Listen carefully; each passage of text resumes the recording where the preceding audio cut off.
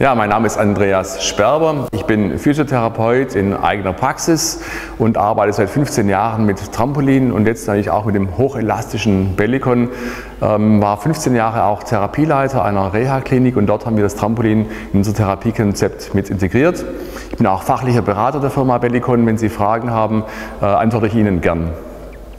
Das Besondere an dem Bellicon-Trampolin ist seine unendlich weiche Schwingung. Allein wenn Sie schon mal drauf treten, werden Sie merken, wie weich und elastisch das Gewebe nachgibt. Und diese punktelastische Federung ermöglicht dem ganzen Gewebe der Muskulatur darauf zu reagieren.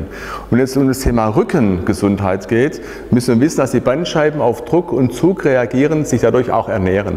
Und genau das ist die Übertragung dieser Schwingung, ermöglicht der Bandscheibe auch, sich immer wieder neu zu ernähren und mit Energie zu füllen und mit Nährstoffen Nährstoffen zu füllen und elastisch zu bleiben.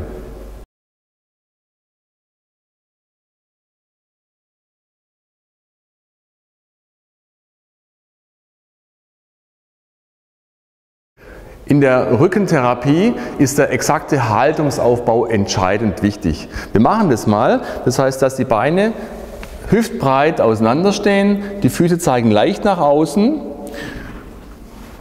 Drehen mal zu mir. Die Gewölbe des Fußes wird aufgerichtet, das Quergewölbe das Längsgewölbe, die Knie werden leicht gebeugt, der Bauchnabel wird leicht nach innen geschoben, die Brustwirbelsäule aufgerichtet und ganz entscheidend für die Halswirbelsäule, das Kinn wird nach hinten geschoben, dass hier eine Spannung entsteht. Wunderbar. Jetzt die Arme nach außen drehen und mal leicht in Schwingen kommen.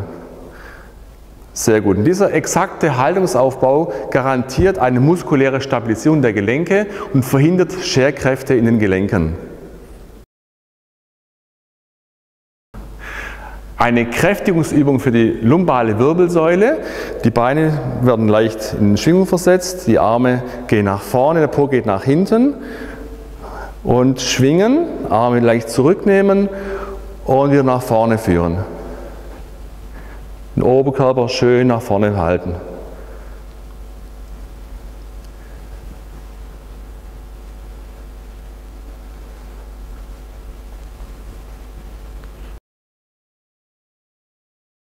Eine Kräftigungsübung für die Brustwirbelsäule. Wir gehen in Schrittstellung, vor und zurück, die Arme werden gespreizt, gehen nach hinten. Die Übung heißt auch Zielfoto.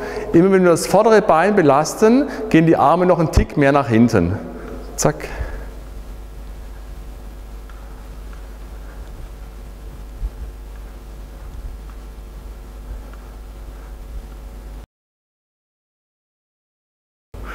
Um die Wirbelsäule zu entlasten, bietet sich diese Partnerübung an. Der Partner liegt auf dem Rücken, der Kopf abgestützt, die Füße auf einem Hocker oder auf einem Sessel und jetzt wird die Wirbelsäule leicht in Schwingung versetzt. Dieses leichte Schwingen wird die Bandscheibe be- und entlastet. Seitlich entspannt die Muskulatur. Und die Wirbelsäule erholt sich.